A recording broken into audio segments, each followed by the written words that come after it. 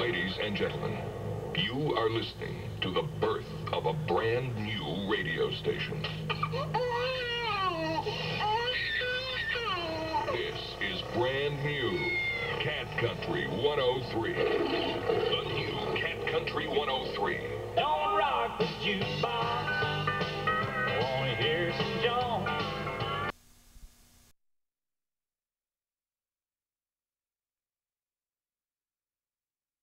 started.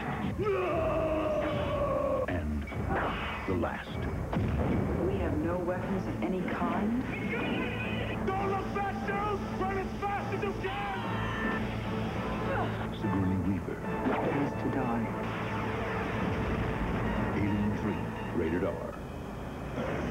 Friday, May 22nd at theaters everywhere.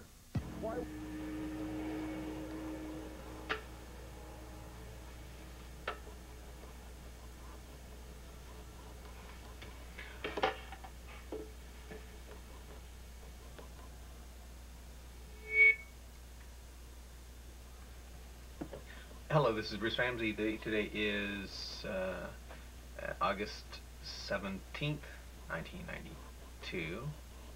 Same day that you just heard the. Oh, what was it? Oh. Um, the robot talking. That's right. I'm gonna see what happens when I close these curtains pretty soon. See what happens, what it looks like.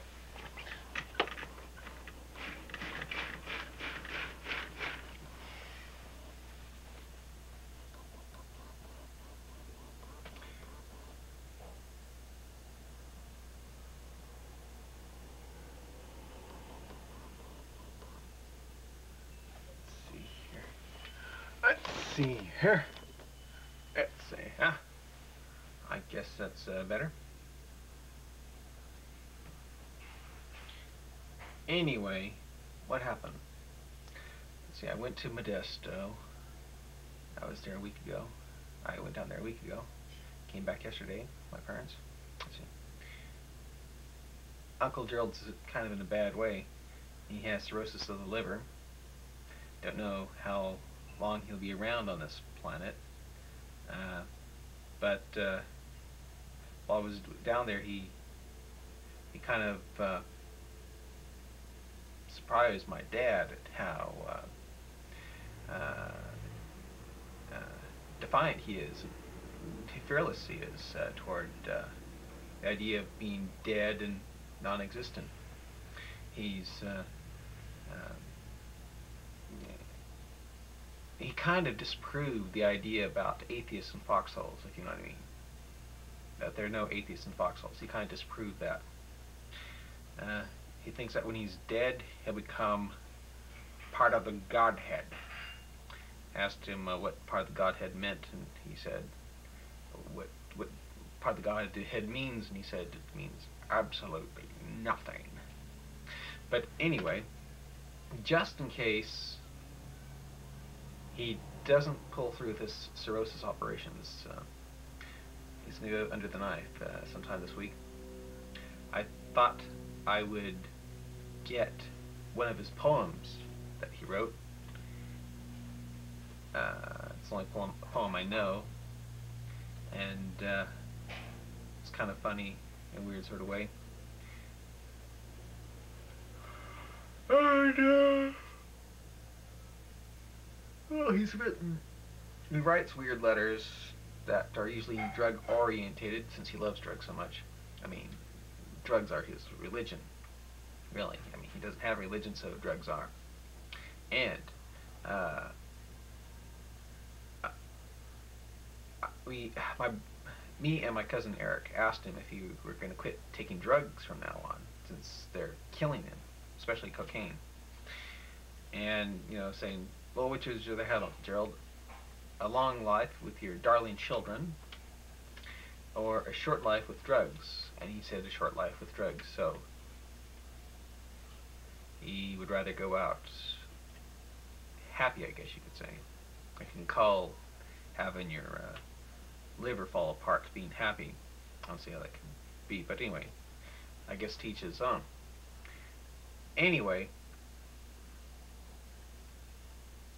let's see here. Uh,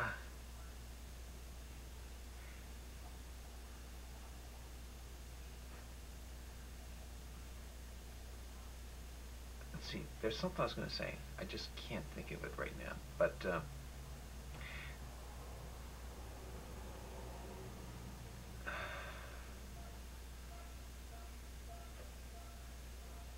he's definitely going to still take drugs.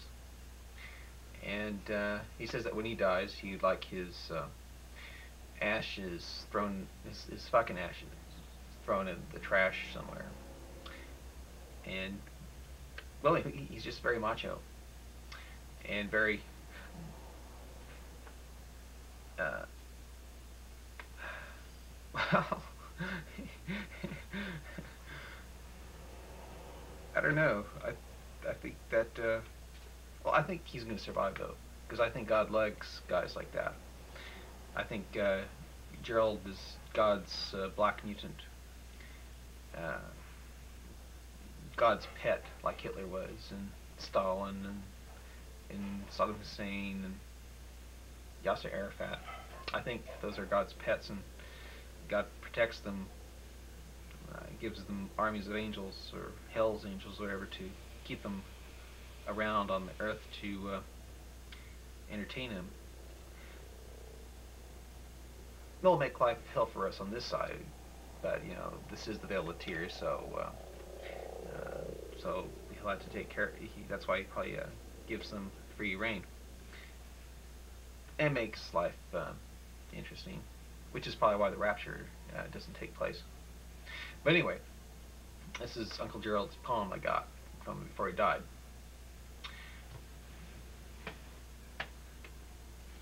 As my formless form casts a shadow that blocks out the sun at high noon, holy Lucifer trembles in holy terror. Yours truly, Sheba. goes, As my formless form casts a shadow that blocks out the sun at high noon, holy Lucifer trembles in holy terror. Yours truly, Shiva, which is the god of destruction and reproduction. Hindu god. Okay.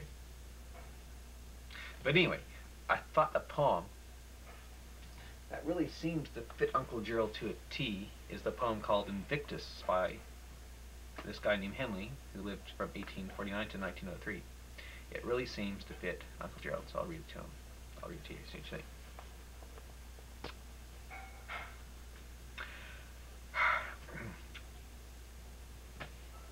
Out of the black night that covers me, black as a pit from pole to pole, I think whatever gods may be for my unconquerable soul. In the fell clutch of circumstance, I have not winced nor cried aloud. Under the bludgeoning of chance, my head is bloody, but unbowed. Beyond this place of wrath and tears looms but the horror of the shade, and yet the menace of the years finds and shall find me unafraid. It matters not how straight the gate, how charged the punishments the scroll. I am the master of my fate, the captain of my soul.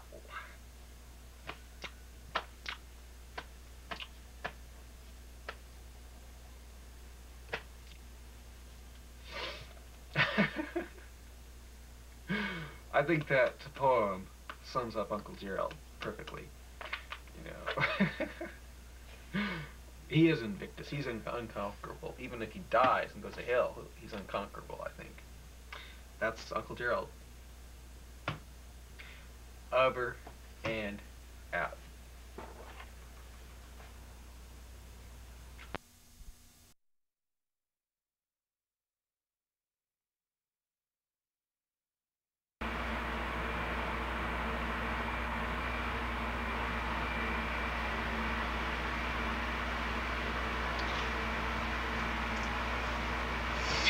Hello, this is Bruce Ramsey. The date today is August 21st, 1992. And I have news to report. Uncle Gerald is doing great. He came through that dangerous operation that had a